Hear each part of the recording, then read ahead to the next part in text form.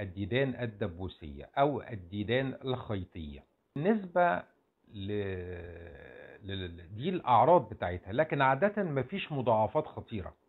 هي أكتر حاجة آه، بتعملها حكاية موضوع الهرش دهيت وده في حد ذاته بيخلي الطفل متوتر وعصبي زيادة عن اللزوم. طيب بالنسبة لطرق العدوى هي بتنتقل بالبويضة.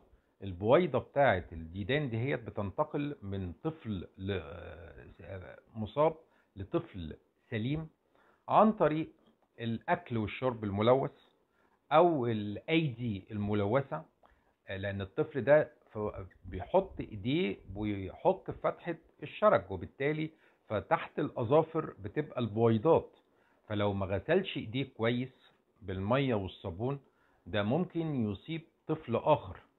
وطبعا زي ما إحنا عارفين إن الطفل اللي هو مصاب ده ممكن يلعب بألعاب معينة أو ممكن يحط إيده على المقابض أو بيحط إيده على الترابيزات. كل الأماكن دهيت أصبحت ملوثة بالبويضات.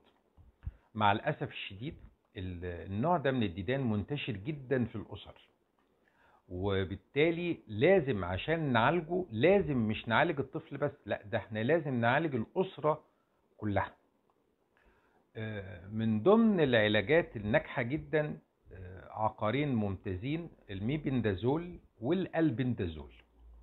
الاتنين دول بيجيبوا نتائج ممتازة وهي عبارة عن جرعة واحدة فقط لا غير بنقررها بعد أسبوعين علشان نقضي على إذا كان في ديدان خرجت من البويضات يتقضي عليها هي كمان.